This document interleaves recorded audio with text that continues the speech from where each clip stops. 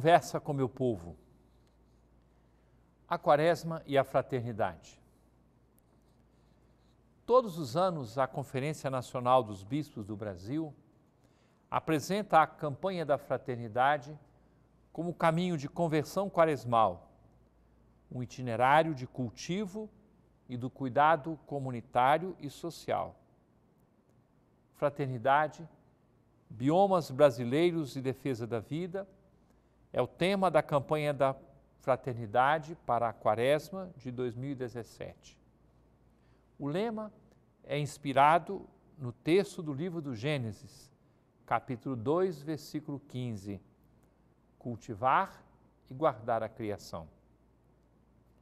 A campanha tem como objetivo geral cuidar da criação, de modo especial dos biomas brasileiros, dons de Deus e promover relações fraternas com a cultura e a vida dos povos à luz do Evangelho. A partir do texto base preparado pela CNBB, aqui estão algumas indicações para a nossa vivência da campanha da fraternidade uma forma de praticar a caridade a que nos chama o tempo quaresmal.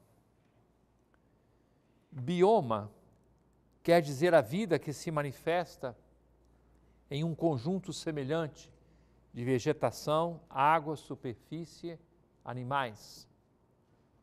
Uma paisagem que mostra uma unidade entre os diversos elementos da natureza.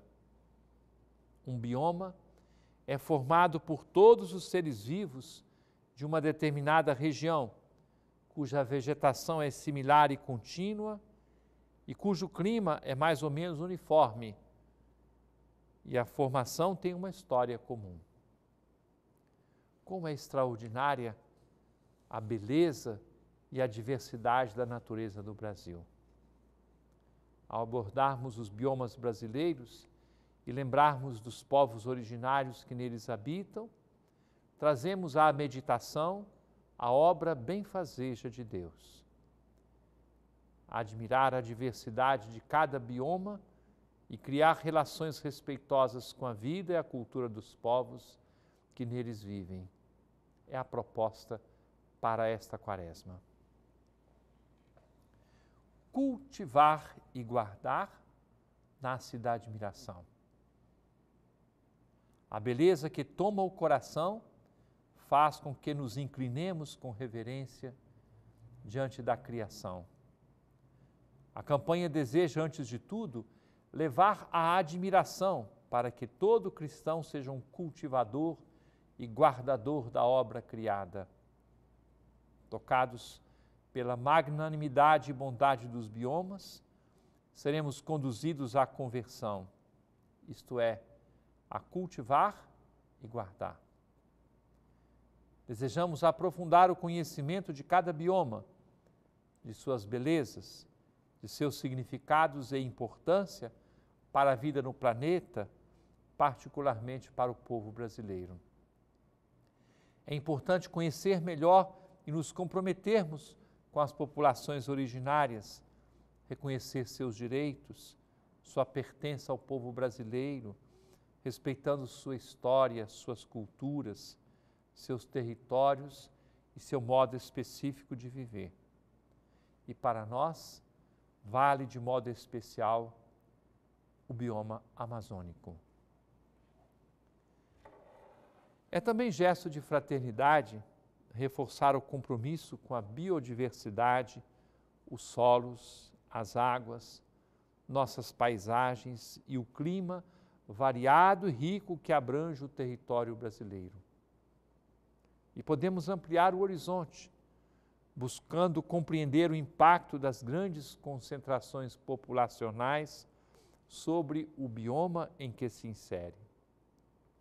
Podemos ainda manter a articulação com outras igrejas, organizações da sociedade civil, centros de pesquisa e todas as pessoas de boa vontade que querem a preservação das riquezas naturais e o bem-estar do povo brasileiro. Nosso olhar se volta ainda para as autoridades públicas que desejamos comprometer para que assumam a responsabilidade sobre o meio ambiente e a defesa de nossos povos. Assim poderemos contribuir para a construção de um novo paradigma econômico, ecológico, que atenda às necessidades de todas as pessoas e famílias, respeitando a natureza. Mas tudo isso pode conduzir-nos a compreender o desafio da chamada conversão ecológica, a que nos chama o nosso Papa Francisco na carta encíclica Laudato Si, e sua relação com o espírito quaresmal. Nós recebemos o dom da fé. Seguir Jesus Cristo, viver das palavras, da vida, da morte e ressurreição de Cristo é graça. Cultivar a fé Exercitar-se é deixar-se cuidar pelo dom do seguimento de Jesus, que transforma e amadurece na busca da plenitude da vida. Cultivar a fé e ser guardado pela fé nos abre para o cuidado dos irmãos e de toda a obra criada por Deus. A Quaresma nos provoca e convoca à conversão mudança de vida, cultivar o caminho do seguimento de Jesus Cristo. Os exercícios do cultivo que a igreja nos propõe no tempo da quaresma são aqueles que abrem nossa pessoa a graça do encontro, jejum, oração e esmola, jejum, esvaziamento, expropriação, libertação e não privação. O jejum abre nossa pessoa para a receptividade da vida em Cristo. Oração, súplica na busca de ser atingido pela misericórdia. Esmola é partilha, amor partilhado, deixar-se tocar pela presença do mendigo que cuida do doador com a sua presença provocante. A quaresma começou com a quarta-feira de cinzas, quando reconhecemos que sem a conversão a Jesus Cristo, nossa vida vira pó da terra. Não desejamos o aniquilamento das pessoas e da natureza, mas é nosso o sonho expresso por São Paulo.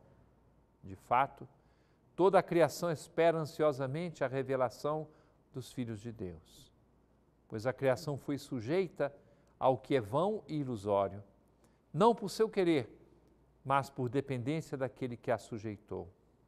Também a própria criação espera ser libertada da escravidão da corrupção em vista da liberdade, que é a glória dos filhos de Deus.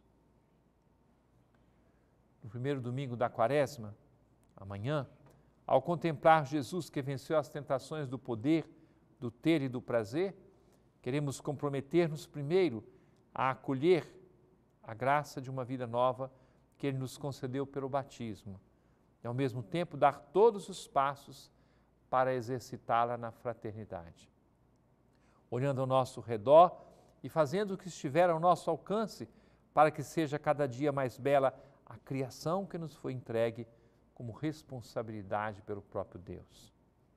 E na criação, ainda mais, o cuidado com as pessoas, que são irmãos e irmãs concedidos por Deus para serem amadas. Permaneça conosco, querido irmão, querida irmã. Daqui a pouco estamos de volta. Conversa com meu povo. Querido irmão, querida irmã, amanhã nós celebraremos o primeiro domingo da quaresma. O dia de hoje, para quem me acompanha na parte da manhã, ainda vale o convite para estarmos em Cotijuba, na abertura oficial da campanha da fraternidade de nossa arquidiocese. Mas quem estiver em sua casa acompanhando a nossa transmissão, a partir das nove horas, nós estaremos transmitindo de Cotijuba, diretamente. E queremos que você esteja conosco, com a Arquidiocese de Belém, para vivermos esta abertura da campanha da fraternidade. Mas amanhã, depois de voltarmos de Cotijuba, é claro, todos nós somos convidados a participarmos da Santa Missa em nossas paróquias. Cada uma das paróquias estará bem preparada para viver o primeiro domingo da quaresma. Nós temos na igreja uma forma de organizar o tempo litúrgico. Para os domingos, nós temos três anos, A, B e C. No ano A, aquele em que nós nos encontramos, a maior parte das leituras é do Evangelho de São Mateus. No ano B, a maior parte é de São Marcos e no ano C, de São Lucas. E a quaresma que estamos vivendo em 2017 é a chamada quaresma típica, aquela que tem temas a partir do terceiro domingo da quaresma, temas ligados à iniciação cristã. O primeiro domingo da quaresma, todos os anos, traz a narrativa daquela experiência vivida por Jesus no deserto. 40 dias efetivos de jejum. E naqueles dias, Jesus experimentou, por ser Deus, mas ser homem, experimentou plenamente também a realidade da tentação. E ao sentir-se tentado, Jesus resistiu à tentação e nos ensinou e também nos garantiu a graça necessária para resistirmos à tentação. O primeiro domingo da quaresma, neste ano, especialmente com a proposta do Retiro Popular que nós lançamos, não só para a Arquidiocese de Belém, mas para todo o Brasil, o primeiro domingo da quaresma traz consigo uma realidade muito bonita e muito importante. Deus não nos fez para amassarmos barro no pecado. Deus nos fez para vivermos na graça. Então, não é só o domingo da tentação, mas é o domingo da vitória. As tentações fundamentais que tomam conta do coração humano. A tentação do poder, a tentação do prazer, a tentação das posses, de ter as coisas. Como vencer essas tentações? O evangelho que nós ouviremos amanhã nos mostra Jesus que remete continuamente à palavra de Deus. E aqui nós podemos aprender.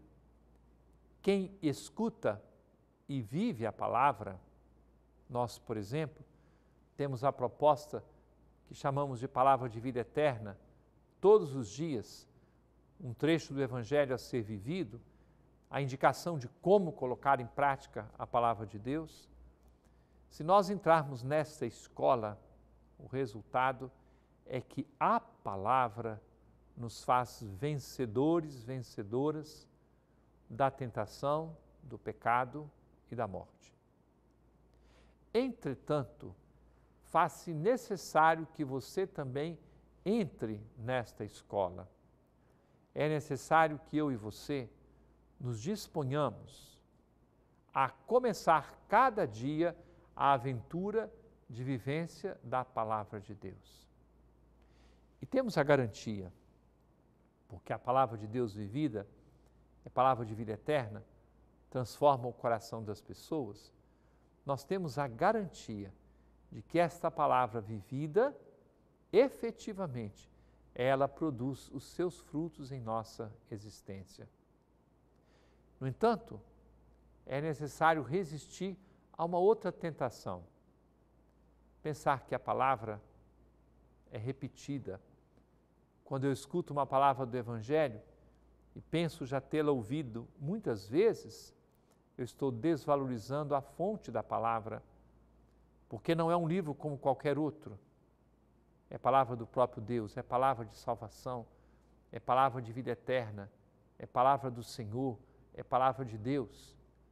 Cada vez que a palavra é proclamada, ela traz consigo a novidade que só pode vir de Deus.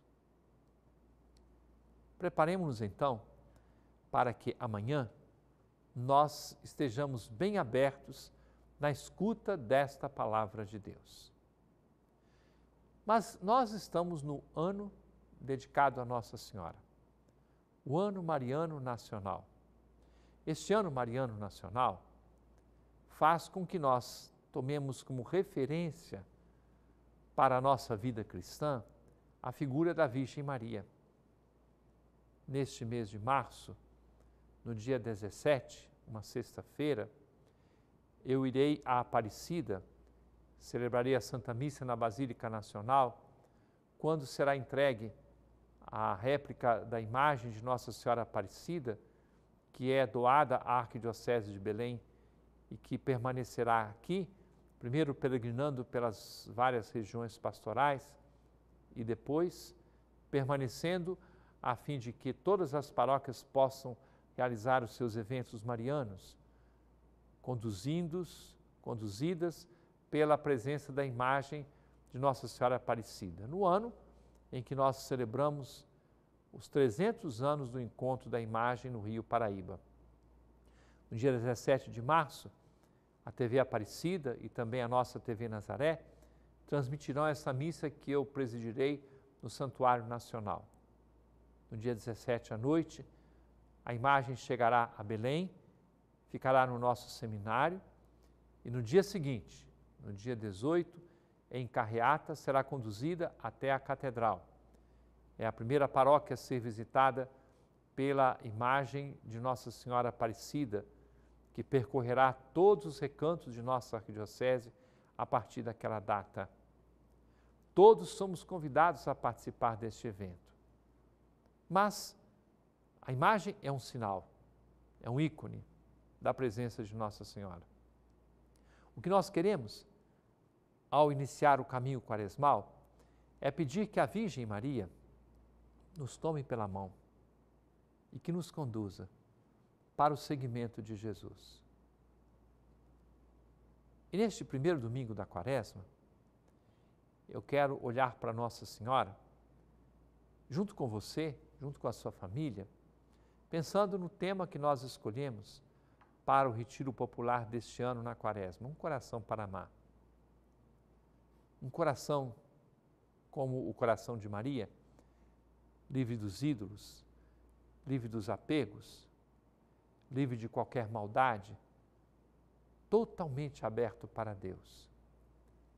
Um coração vitorioso contra a tentação, um coração vitorioso contra todo o resquício da maldade, aquela que nós chamamos de imaculada, aquela que é sem pecado, que é sem mancha. Nós queremos confiar-lhe a nossa vida, o nosso serviço a Deus, as nossas famílias, nosso desejo de viver efetivamente como cristãos. É assim que nós desejamos viver este início da nossa quaresma.